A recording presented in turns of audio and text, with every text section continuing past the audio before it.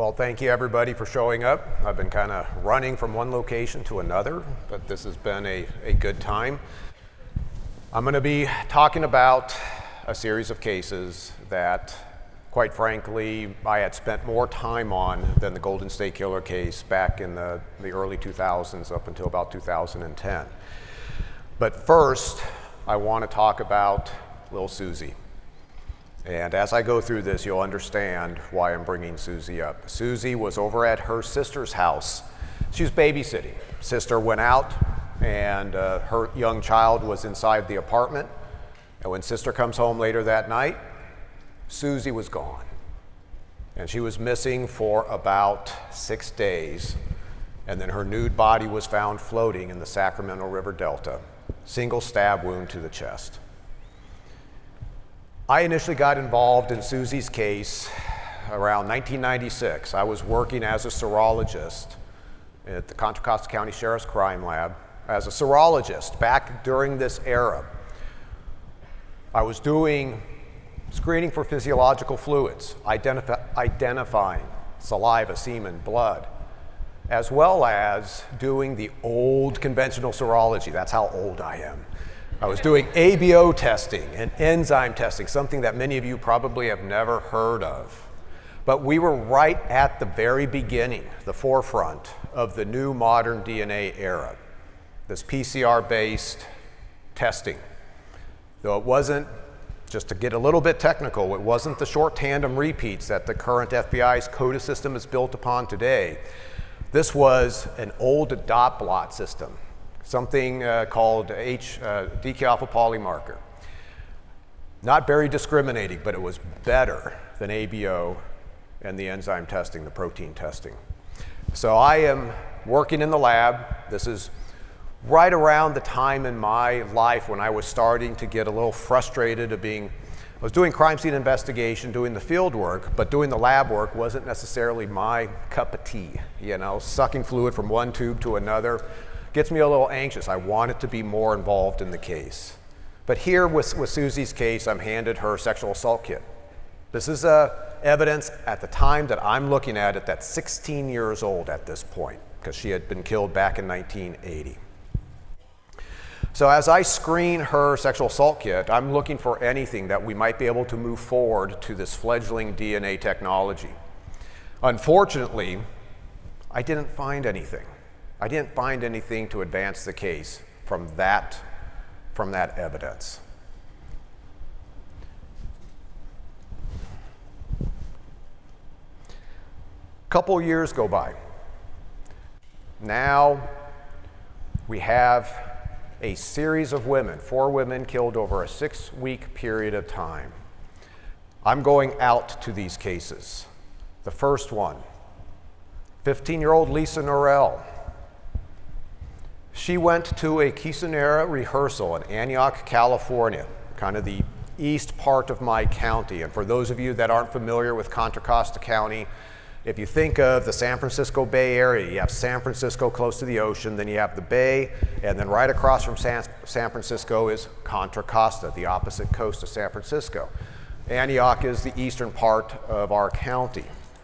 Lisa's at this quinceanera. She's wearing sweatpants, sweatshirt, and she had brought her rhinestone dress that she would be wearing at the actual event for this rehearsal. She also had high heeled shoes that she had been carrying with her. She gets into, as you know, teenagers do, a little bit of a, a fight with a boy at this uh, rehearsal, and she decides that she's going to walk home about 11 o'clock at night, walk from Antioch into the city of Pittsburg across a stretch of a road that we know as the Pittsburg Antioch Highway. This is a very dangerous road, it's very isolated, and Lisa never made it home. A week later, after massive searching, Lisa's body is found tucked up against this nursery building right off of this highway. She had trash piled on top of her and then these two pallets to hide where her body was located at. She's fully clothed. Her cause of death is something that I cannot reveal. It's what we call a holdback because we want to ensure that if we interview the right guy, if he divulges how Lisa died in detail, we know we have the right guy. I spent a lot of time with Lisa in the morgue, and it's something that is etched into my brain forever. No 15 year old girl should ever be there.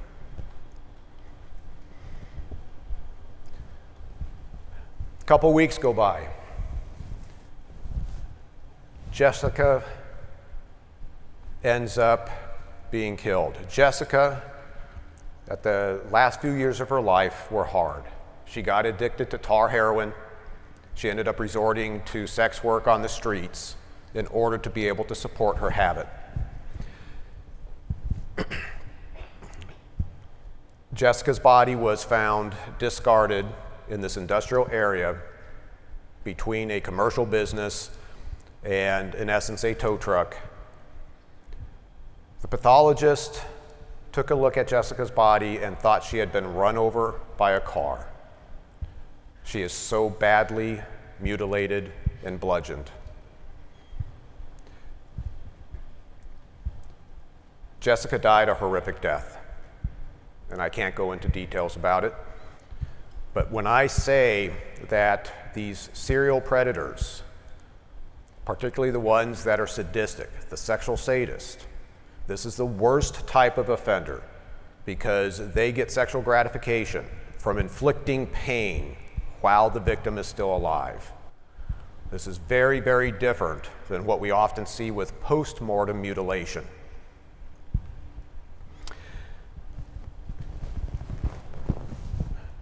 When I was in the process of writing my book, my collaborator on that, Robin, met with me, and I took her, course, to Golden State Killer locations that were significant, including DeAngelo's house, but also to the locations that were significant to this unsolved series.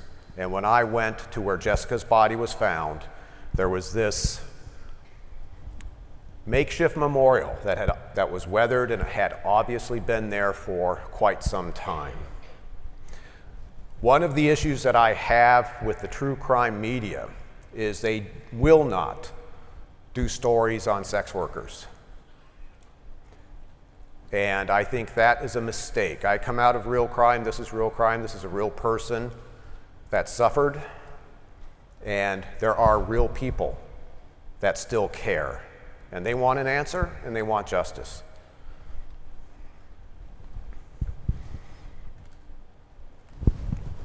After Jessica's case, another week, week and a half goes by, and then Rachel is found. Rachel is fully clothed like Lisa. Same type of mutilation had not occurred with Rachel. She in evaluating her clothing, her pants were on inside out. They were like, uh, sort of like sweatpants, inside out and backwards. She had been redressed by this offender. There was a dilute blood stain that was no, uh, lower down on her knee that did not match up with any of her injuries. So I was able to reconstruct that this, her pants had been off her body and had contacted probably her face with the dilute nature of this blood stain. Rachel, like Jessica, had had uh, a hard time in the last few years of her life and was out there working along this stretch of road and ran into the wrong guy. I wish I had a better photo of Rachel. This is obviously a mugshot. Um, she was dis, distant from her family and was pretty much all alone. And the same day as Rachel's homicide, we had Tammy. And Tammy, also working the streets, was picked up. She's found inside this porta potty. She had been beaten so badly, had suffered so much brain damage, she couldn't remember what had happened to her.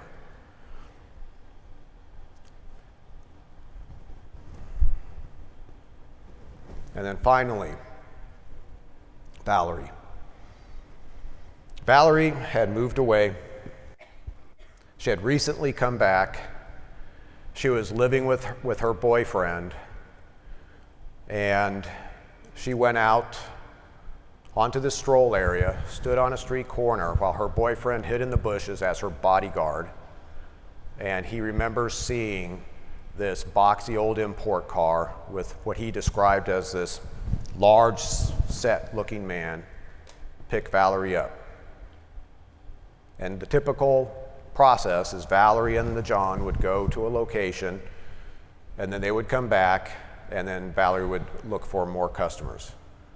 Valerie never came back from the man that picked her up in this boxy brown import car. The next day, Valerie's body is found in a ditch.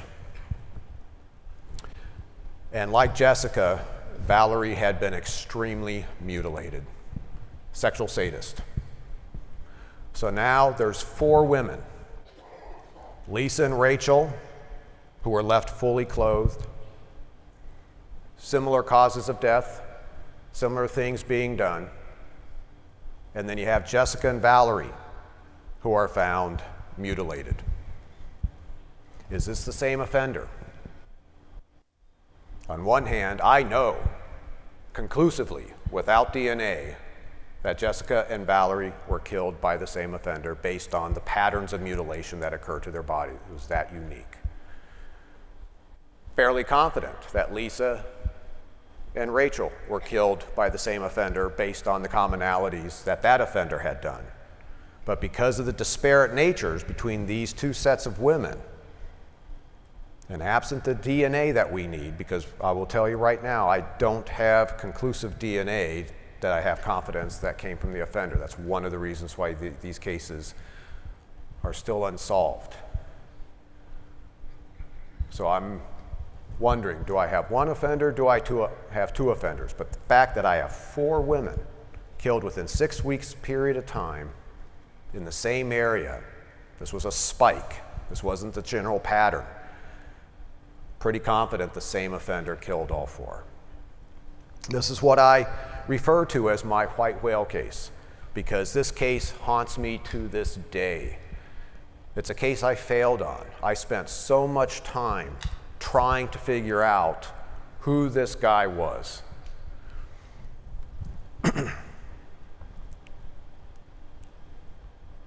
this guy is possibly still out there and possibly still hurting women somewhere, not necessarily in Contra Costa County.